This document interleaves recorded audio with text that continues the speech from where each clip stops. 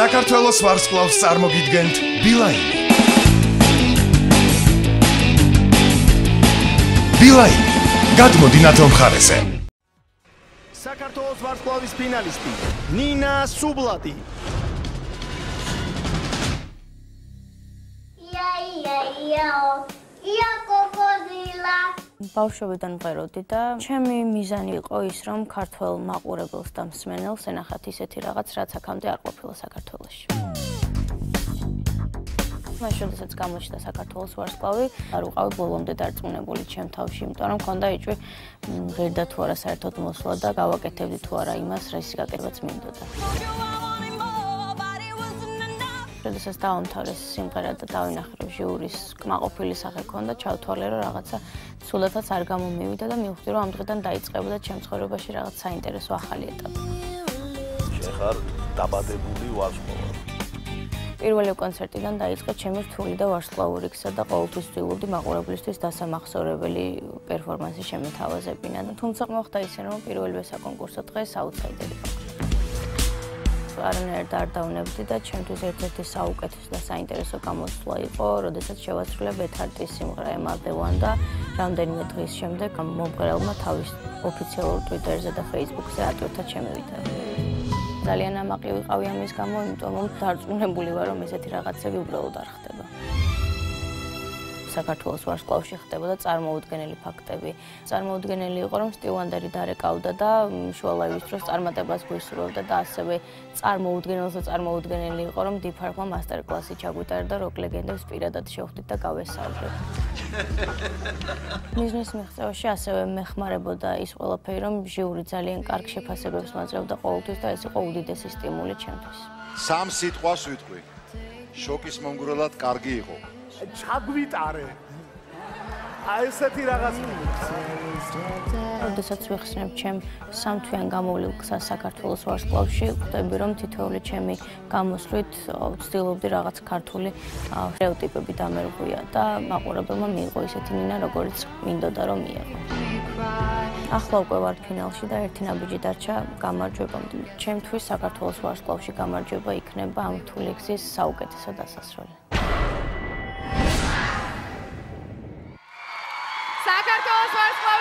ვარსკვლავის ფინალისტი ნინა სუბლატი.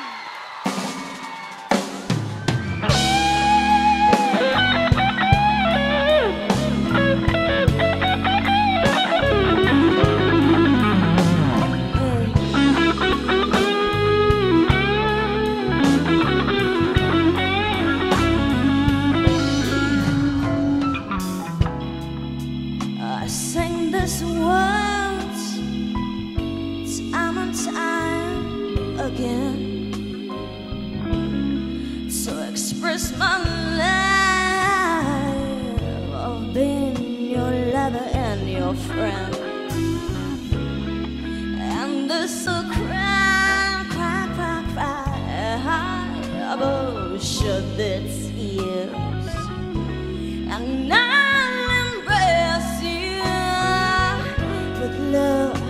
from all I fear.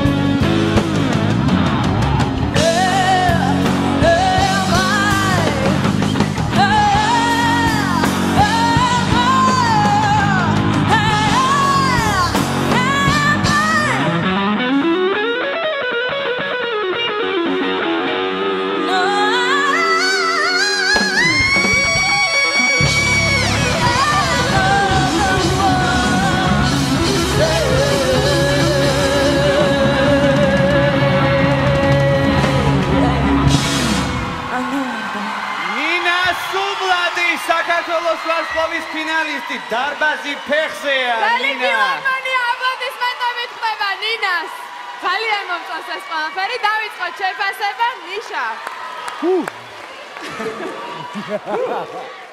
yes. აი თქვენი თქვენი პირველი დასაწყისი სამაიას შემდეგ როგორც იქნა დამიბრუნდა მეტყველები უნარი რომ მეტყვა ის სიტყვები რაც უხარი ნუკა გვალიას და მე მგონი კიდევ ერთხელ დავყარგე ეს უნარი იმიტომ რომ. აა ნინა რომ არ არსებობდე შენ ამ კონკურსში და არ იყოს ასეთი მაღალი კონკურენცია. ჩვენ დიდი ხნის წინ მაგალითად გამოაცხადებდით ფავორიტად მაგალითად ნუკა გვალიას და ვიტყოით რომ აი ეს რაღა არის აქ საკამათო. და საქმე იმაშია რომ არის საკამათო რა ეს გემოვნების საკითხია. ეს არის ძალიან მაღალი კლასის კონკურსი და მიდის სერიოზული ორთაბრძოლა. და ეს იყო ძალიან სერიოზული ძალიან მაღალი დონის შესრულება. მე ამ წითელ კაბაში შემექნა შეჭდება რომ შენ გავდი ცოტათი კარგ წითელ ღვინოს და თვითონ სიმღერაც ასეთი იყო შენც ასეთი იყავი. განსხვავებული ხასიათის რომელიც თან საშიშია ცოტა და თან ტკბილია და ზედმეტად არ უნდა დაუახლოვდე თორემ რაღაც სისულელეს გაგაკეთებიდეს დიდი მადლობა ასეთი შეფასებისთვის. გაასრულეთ. ვეღარას მაყურებელმა გადაწყვიტოს ვინ გახდება დღეს საქართველოს ვარსკვლავი. ნებისმიერ მისი გადაწყვეტილება იქნება სამართლიანი და საბოლოო რა დავეთანხმებით და მივიღებ ჩვენ. დღეს ძალიან სერიოზული ბრძოლა მიმდინარეობს აი ამ მუსიკალურ რინგზე რასაც ქვია ფილარმონიის დიდი საკონცერტო დარბაზი. დიდი მადლობა ნიშა ასეთ შეფასებისთვის და ბატონო ზაზა გთხოვთ? აა მე პირველ რიგში მინდა ვთქვა რომ ის პოსტი Twitter-ზე რომელიც განათავსა ბეთ ჰარტმა ეს არის არა მარტო შენი არამედ მთლიანად ჩვენი სატელევიზიო კონკურსის ძალიან დიდი გამარჯვება და ეს მეტყველებს იმაზე რომ კონკურსი ვითარდება სწორი მიმართულებით და უახლოვდება საერთაშორისო აღიარებულ სტანდარტებს. რაც შეგეხება შენ, მე ძალიან კარგად მახსოვს გუშინელ დღესავით შენი პირველი გამოსვლა კასტინგის ტურში და მის მერე ყოველ ორ შაბათიდან ორ შაბათამდე მეც მაყურებლები სულ ყველანი გელოდები და გაკვირდებით როგორ იზდები შენ ტურიდან ტურამდე ყოველი ტურიდან ტურამდე იზდები და ძალიან ძალიან დიდ სასწაულებს ახდენს. მაგრამ ყველაზე მთავარი რაც მე მინდა გითხრა შენ რომ შენ ხარ ძალიან გონიერი კონკურსანტი რომელიც ძალიან კარგად გზნობს სიმღერის ტექსტებს რომელსაც აქვს თავისი სტრატეგია და რომელმაც ძალიან კარგად იცის რა უნდა წაიღოს ამ კონკურსიდან. აი ეს არის შენი მთავარი გამოსავრელი პირობები და დღევანდელი შენი გამოსვლა სამის დასტური იყო. გილოცავ, ძალიან კარგი გამოსვლა იყო. დიდი მადლობა ნინი.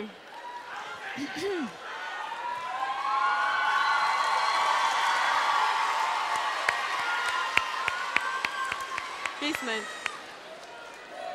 ნინა, პირველ რიგში მინდა ვთქვა, რომ ეს იყო მილიონჯერ უფრო მაგარი შესრულება, ვიდრე მაშინ, როდესაც ბეთჰარტმა მოისმინა. აი ხა რომ მოისმინოს ნეტას დაწერს, ალბათ შოკი ექნება ნამდვილად, იმიტომ რომ მე შოკი მომგვარა შენმა დღევანდელმა შესრულებამ. შენ ვიდეოში აღნიშნე რომ მეო მინდოდა შემომეტანა ქართულ შოუ ბიზნესშიო, რაღაცა ახალიო, რომელიც ქართულ ერს და მსმენელს არ მოусმენიაო. შენ ნამდვილად შემოიტანე ეს. შენ ხარ სხვა, განსხვავებული.